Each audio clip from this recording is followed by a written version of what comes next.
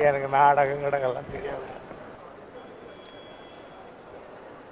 திடீர்னு ஒரு திடீர்னு ஒரு- இடுப்பில் ஒரு வலி. இடுபொலின்னா அந்த வலி இல்லைப்பா. இடுபொலி நமக்கே வரும்? நீங்கள் உடனே வேலை பண்ண இடுபொலி குழந்தை போது பறக்க போட்டு ஒவ்வொரு நாளும் தமிழகத்துக்கு கர்நாடகம் தர வேண்டிய தண்ணீரின் அளவு குறைந்து கொண்டே போகிறது. பொதுவாக சொல்லுவோம் ஒரு நாளைக்கு ஒரு டிஎம்சி வர வேண்டும் என்று. ஆனால் அப்படி இல்லை. இன்றைக்கி வந்திருக்கிற கணக்குப்படி பார்த்தால் மூணாம் தேதி வரையில் நாளைக்கு நாளைக்கு வருமுறை நமக்கு வந்து பன்னெண்டு புள்ளி ரெண்டு ஒன்று three two one three twelve point two one three TMC தண்ணி நமக்கு கிடச்சிருக்கணும். இன்னைக்கு மூணாந்தேதி வரையில். ஆனால் ஆக்சுவலாக எவ்வளோ கொடுத்துருக்காங்கன்னு கேட்டிங்கன்னா two point nine nine three TMC தான் கொடுத்துருக்காங்க. Two point nine nine three three அப்படின்னா எவ்வளோ டெபிசிட் நமக்கு என்ன? Nine point two two zero TMC தண்ணீர் நமக்கு பற்றாக்குறையாக இருந்து ஏற்பட்டிருக்கிறது.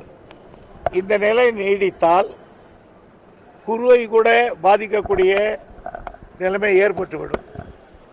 எனவே கர்நாடகம்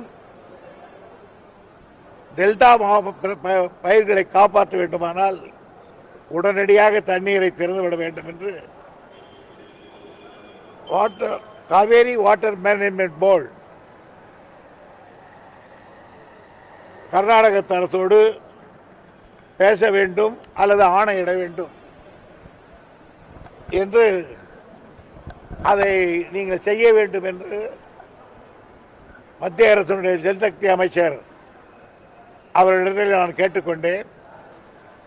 அவரும் உடனடியாக அதிகாரிகளை வரவழைத்து உடனடியாக காவேரி மேனேஜ்மெண்ட் போர்டை கூட்டுவதற்கு வேண்டிய நடவடிக்கை எடுங்கள். என்ன நிலைமை என்பதை உடனடியாக எனக்கு தெரிவிங்கள் என்று தெரிவித்திருக்கிறார்கள். இது சாதாரணமான விவகாரம் அல்ல. ரொம்ப உயிர் பிரச்சனை என்பதை அமைச்சரிடத்திலே நான் தெளிவாக தெரிவித்திருக்கிறேன்.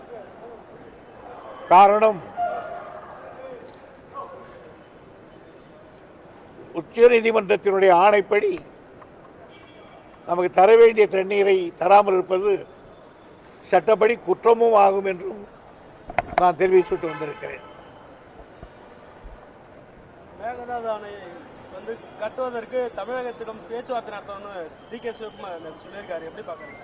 பேச்சுவார்த்தை நடத்தினாலும் சரி எழுத்து மூலமாக தெரிவித்தாலும் சரி எந்த ரூபத்திலும் நாங்கள் மேகதாது அணை கட்டுவதற்கு தமிழகம் ஒருபோதும் உடன்படாது.